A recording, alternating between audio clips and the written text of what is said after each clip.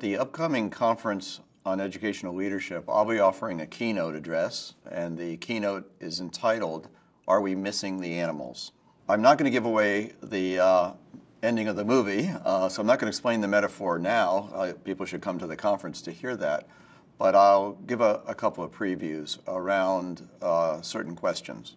So, one question is in our quest to cover all the content embodied in state standards and provincial outcomes,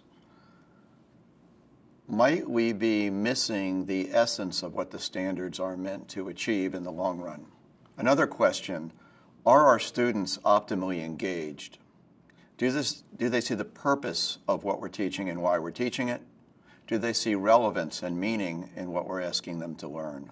These are some of the questions that I hope to explore in my keynote, and the title Missing the Animals is suggestive of a metaphor that I hope will cause people to think and reflect and, and maybe question uh, some of our current practices.